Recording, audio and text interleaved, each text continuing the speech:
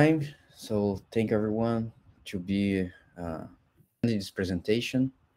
I'm, you know, I'm pleased to introduce Vladik. He's going to present this work about declarative vGPUs or MDEV configuration in KubeVirt. And I'm looking forward to hear the presentation. Thank you, Vlad. Thank you. Um, and thank you everyone uh, for joining. I, um, I really plan to be um, this to be a short session rather, uh, mostly to report on the progress we've made uh, towards uh, providing a better um, usability for virtual GPUs and KubeVirt in general. but uh, before we um, uh, jump into the new changes we've made, I, I want to take a step back and uh, kind of recap on the already existing support for host devices and the mediated device assignment in, in KubeVirt, simply because this new work builds on top of that. Um, so the previous iteration was about us trying to uh, facilitate uh, the work of the administrator that they needed to do to make PCI devices and the vGPUs um, to become available in the cluster. And um, um, basically, instead of um, um, letting the administrator um, deploy a dedicated device plugin for every device on every node, uh, we've introduced an API that uh, with this API, the administrator can simply um, list the permitted devices in the cluster uh, with the corresponding uh, resource name. And um, uh, KubeVirt will then um, uh, discover these devices on nodes and will start the device plugin for, for, for this resource. And of course, this configuration can be done outside of KubeVirt completely um, anyone who is interested in running uh, their own device plugin and taking care of the allocation um, in their device plugin, um, all the administrator needs to do in this case is just uh, to list the device and indicate that um, this resource is being provided by, um, a uh, by an external uh, device plugin. And uh, in that case, uh, KubeVirt will just uh, permit the device to be used in the cluster. So virtual machines can still um, request this device, uh, but uh, all the handling will be will be done by an external device plugin. And of course, the removal of um, any entry in that API will lead uh, KubeVirt to disable um, the relevant device plugin. And um, um, yeah, and that's it.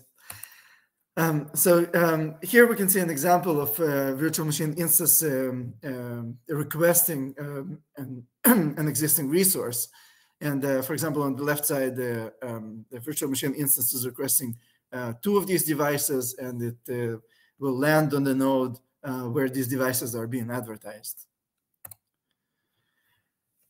so now let's talk a little bit uh, about um, uh, vGPUs. And uh, when it comes to VGP, virtual GPUs, uh, there are all kinds of different solutions out there. And uh, here in this presentation, we'll focus only on those that are being represented by um, mediated devices. So to create a, a, a virtual GPU, um, um, a relevant driver needs to be installed on the on the host. And some vendors, they already have their drivers part of the kernel, uh, so it makes it uh, very easy to consume. As for example, in the case of uh, NVIDIA, um, there's a need to install the driver um, separately. And um, also the creation of um, virtual GPUs um, is um, requires a license. Um, but uh, generally speaking, um, every GPU card that uh, supports uh, virtual GPUs can be partitioned differently. And um, uh, depending on the driver, each of these uh, partitions are being presented as um, different uh, types. And uh, uh, these types are uh, pre-created by the um, by the driver. Um, so um, these types they are different in um, they're different between each other, and they're different in frame buffer size. they're different re resolution that they provide, and they're uh, different in the in the density. Uh, for example, how many um, virtual GPUs can run on uh, one physical GPU, and they serve uh, completely different use cases. I just listed a few, but there are many more. Um, um, yeah, so um, it's it's really up to the administrator to um, to decide uh, which types uh, will become available in the cluster, what exactly uh, the cluster needs, um, depending on the density uh, or perhaps a use case, whether it serves uh, virtual GPUs or um, like training models or anything. Um, so, uh, but um, also on the other hand, um, the creation of these um, uh, virtual GPUs, um, in general, it's it's pretty straightforward. Uh, but the problem becomes uh, when you have a node with um, um, uh, multiple cards on it, which may differ. Uh, there can be uh, different cards on the, on that node that serves different types of of VG, vGPUs. And there can be, of course, uh, multiple nodes uh, that serves multiple cards. And this is the problem that uh, KubeVirt is uh, starting uh, to solve with the um, with the introduced newly introduced mediated devices configuration API.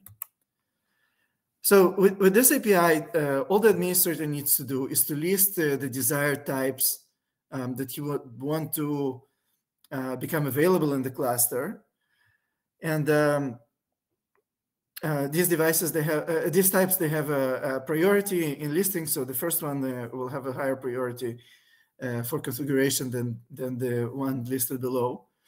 And uh, this configuration can be expanded to um, uh, to specific nodes. so, for example, we can override um, the um, default configuration uh, with a specific configuration per node or per uh, group of nodes, uh, depending on the labeling of, the, of these nodes. Um, uh, sorry, um, one thing is that uh, once this configuration is applied, um, KubeVirt will try to configure these devices, these types on nodes, and um, the next slide will, will actually will talk about how this is working.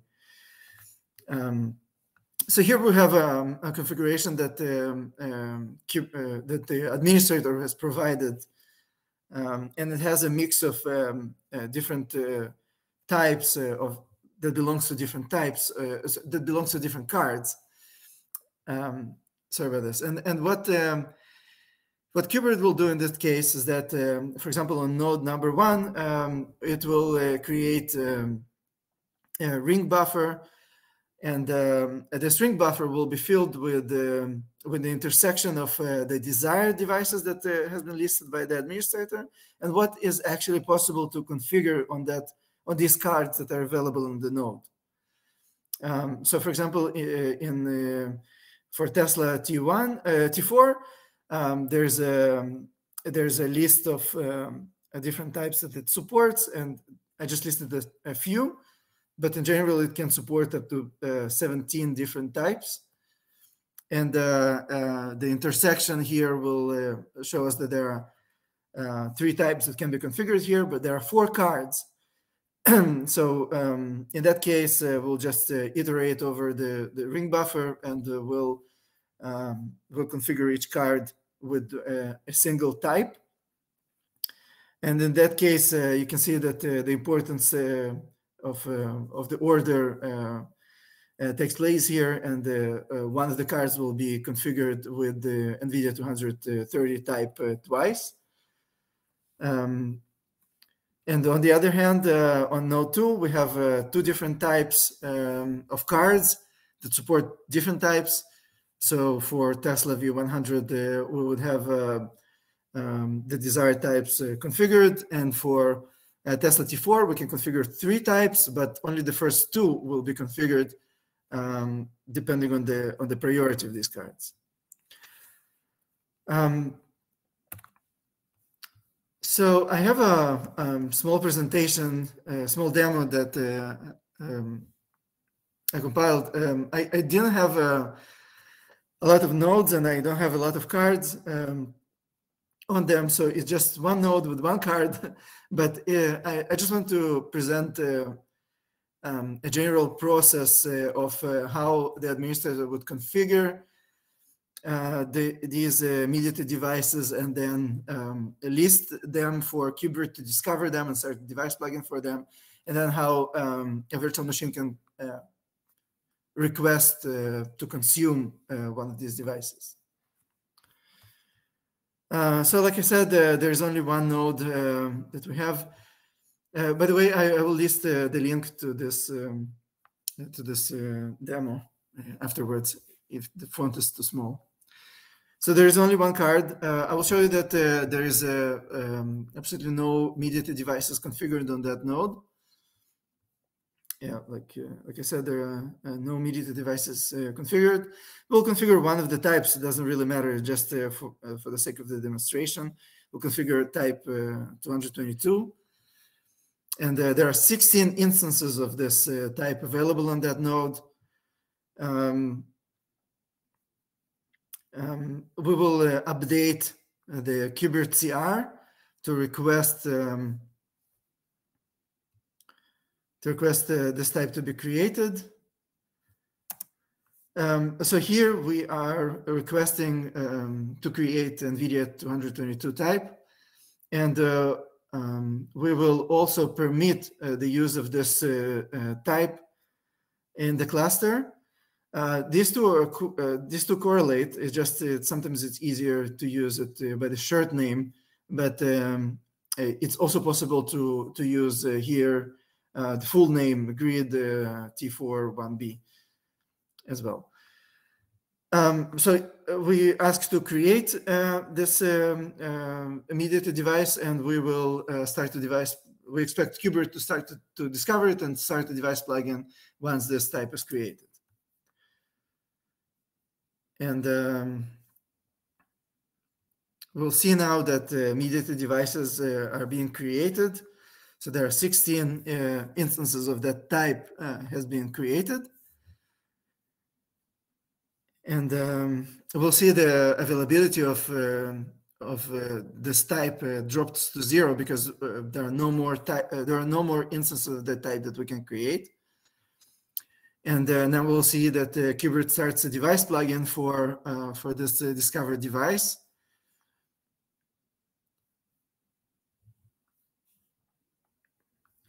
So here in the allocatable section, we see that there are 16 instances of that uh, type available. And we can see that uh, it's actually KubeVirt that started this device plugin.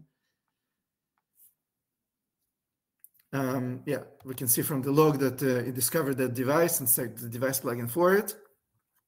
So now we can uh, request, uh, uh, now we can start a virtual machine that requests this type. Um, yeah, so here we're requesting this uh, grid T4-1B and uh, this will this virtual machine will start and run will connect to its uh, console but uh, uh it, during this presentation i didn't have uh, pci utils installed.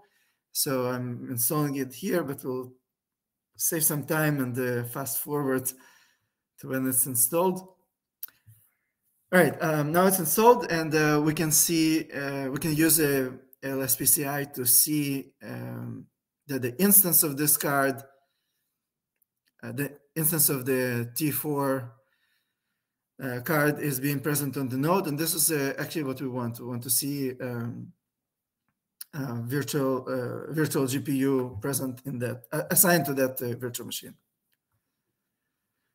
Um, so here we saw a process where we configured mediated devices and then we advertise them to um, to KubeVirt to consume and then the virtual machine requested this device. And now we'll delete uh, the virtual machine and do the opposite. We'll uh, remove uh, these mediated devices and we'll um, remove the uh, uh, this device, uh, this resource from being permitted in the cluster. And the expectation is that um, KubeVirt will remove all all of these 16 instances of the of these mediated devices, and we'll stop a device plugin for it.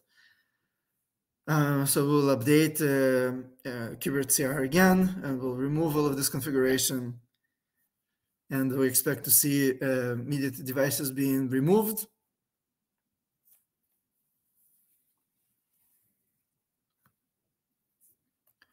So no, no mediated devices here, and the availability uh, goes back to 16 because now we can again uh, manually configure 16 instances of that type. And then we'll see that uh, the device plugin has been deactivated. Um, so in the allocatable section, we can see that uh, there are zero devices um, available. And we can see that uh, KubeVirt does uh, did that um, by looking at the log again. Yeah, so uh, this is the entry that uh, shows that devices, uh, this device plugin has been uh, dis disabled. Uh, so all in all, this is uh, everything I had to um, show you. And um, if there are any questions, I'll be happy to answer. So thank you, Vladi, for the awesome presentation. Very cool. Um, thank you. There is a question here. So Andre, let me see. So Andre is asking, can we have one GPU like NVIDIA T4 sliced in different size? Uh, you know, four, you know, sliced with one giga, uh, I think four with two and one with four, something like that. So uh, specifically for uh, for this uh, T4 card, that uh, we can configure only one type of uh, vGPU per card, and um, um, yeah, we, we can use different types. Uh, each type represents a different frame buffer, um, but yeah, it's only one type per card. Mm -hmm. And also, he's asking if we can change the slice partition dynamically Yes. So basically, updating uh, KubeVirt CR uh, will lead to uh, the deactivation. Um, so we will remove all the all of these mediated devices, and uh, uh, we'll configure something else that uh, has been requested. Mm -hmm. um, Ash is also asking a question here. So I'm going to read, okay? Yeah. I he has so I have a clarifying question here. Can you specify multiple potential types that a VM can request in priority order so that if the ideal type is unavailable, it will be scheduled on the next available. And if it cannot be scheduled due, due to a resource type being unavailable, can you just have it run on CPU? I, I think he's meaning about the um, uh, the, the the desktop. Um, I'm not entirely sure uh, how to answer that. Um, in, in, general, when we are requesting a, a resource on the via virtual machine instance, um, this has to be met. Um, so we will not schedule a, a virtual machine if uh, uh, we cannot meet uh, all the requirements. This is just how uh, Kubernetes works. Um, so I don't, I'm not entirely sure. Yeah. So actually, you can you can just email me if you would like. Um, do you wanna Ash? Do you wanna talk, speak, or I can enable you if it doesn't if it's answered?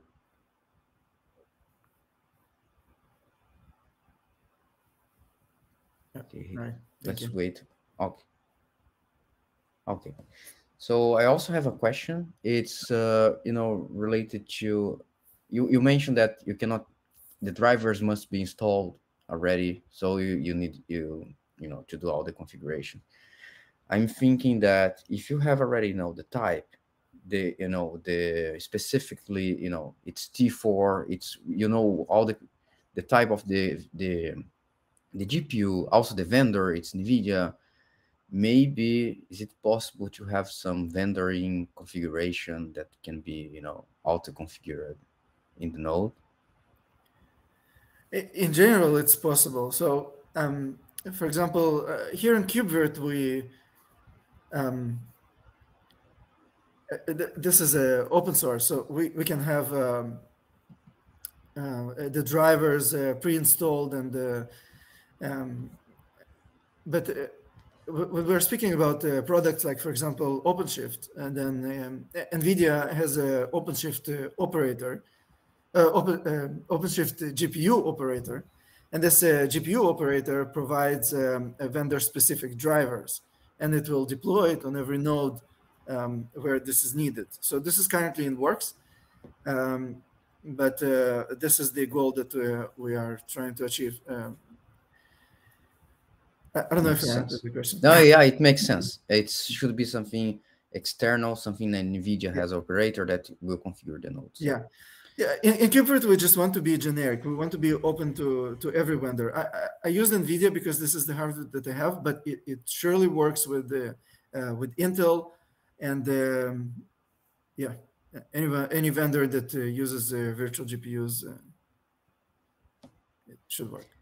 Nice. And the last questions here. So Andrew is also saying that can we collaborate? He has like a more than well, he has forty thousand, you know, T4 GPUs that can be tested. Yeah, I mean, you're you're already in our um, uh, KubeVirt uh, uh, community meeting, So absolutely. Okay, so thank you very much, Vlade, for the presentation. It was very good, and we'll. Thank you. thank you.